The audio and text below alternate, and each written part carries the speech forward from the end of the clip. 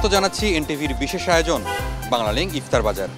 আমি এখন আছি বেলি রোডের একটি দোকানে। দেখতে পাচ্ছেন যে এই দোকানে নানা রকমের খাবার সাজানো হয়েছে। মূলত এই দোকানের বিশেষ যে আয়োজন যদি বলে রাখি, সেটি হচ্ছে হালিম। এই হালিমে এক কেজির যে সাইজ রয়েছে, সেই বাটিটি বিক্রি হচ্ছে গরু তিনশো নব্বই টাকা এবং খাসি চারশো আশি টাকার। পাশাপাশি যে পাঁচ কেজি সাইজেরও বাটি রয়েছে, সেইটি বিক্রি হচ্ছে গরুর এক হাজার নব্বই টাকা এবং খাসির এগারোশো পঞ্চাশ টাকা।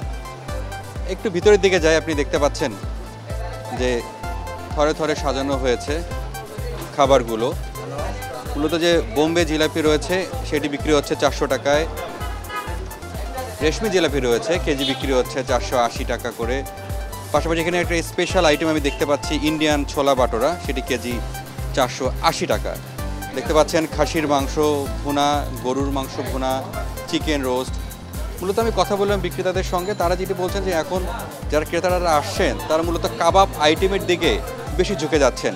এই জন্য এই দোকানে আমি লক্ষ্য করলাম যে কাবাবের অনেক ধরনের আইটেম তারা এখানে সাজিয়ে রেখেছেন। যেমন chicken reshmi kebab, chicken hariyali kebab, chicken শুলে কাবাব, বিফ শিক কাবাব।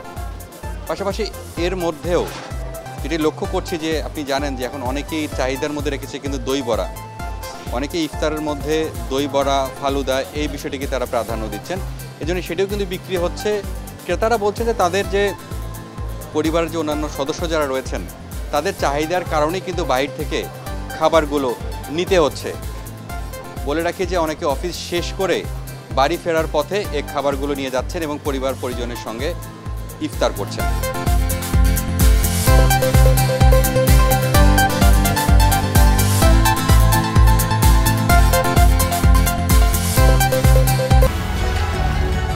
বাংলালিংক ফাস্টেস্ট ফোর জি সবসময় সবখানে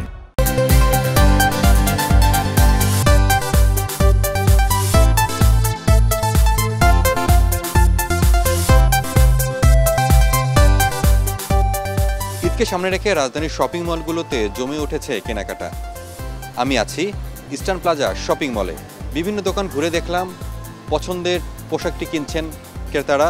পাশাপাশি বলে রাখি যে, বিভিন্ন দোকানগুলোতে ঘুরে যেটি লক্ষ্য করা গেছে, বাহারি রঙের যে ডিজাইনের যে পোশাক, সে পোশাকটি উঠানো হয়েছে এবং তারাও কিনছেন, বিক্রেতারাও বলছেন তারা আশাবাদী।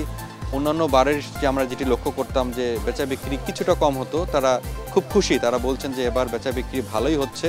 তবে তারা আশা করছেন যে দিন যত যাবে, তত আরও বাড়বে। আপনি লক্ষ্য করছেন আমি এখন যে দোকানটিতে রয়েছি, সেখানে বিভিন্ন ধরনের ছোট বাচ্চাদের পোশাক এখানে থরে থরে সাজানো রয়েছে। এবং অভিভাবকদের সাথেও কথা বললাম, তারা বললেন যে শুরুর দিকে তারা চাচ্ছেন তাদের যে সন্তানরা রয়েছে, তাদের চাহিদা, সেটি পূরণ করার পর তারা পরবর্তীতে তাদের যে কেনাকাটা রয়েছে, তারা সেটি করবেন।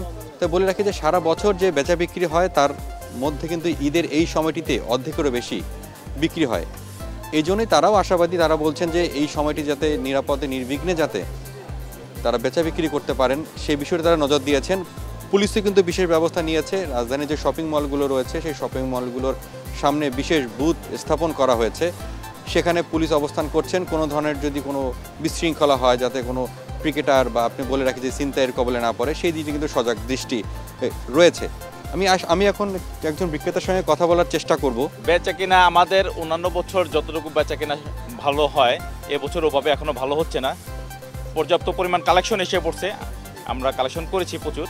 আশাবাদী সামনে ভালো হবে ইনশাল্লাহ এখানে কি আরও বেশ কিছু দোকানপাট রয়েছে, যেখানে আসলে বলে রাখি যে আপনাদের ছেলেদের কিন্তু পছন্দের চাহিদায় যেটি রয়েছে পাঞ্জাবি তারা রেখেছেন।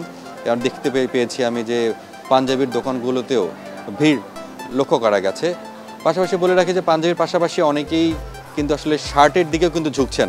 আপনি হয়তো লক্ষ্য করছেন যে একটি দোকানের সামনে আমি আছি, এখানেও দেখছেন যে পছন্দের শার্ট কিনছেন একজন ক্রেতা। তো সব মিলিয়ে বলে রাখি যে ভালোই হচ্ছে বেচা বিক্রি, তবে তারা আশা করছেন যে সময় যত গড়াবে, বিক্রি ততই বাড়বে এবং শপিং মলগুলোতে সমাগম আরও বেশি হবে।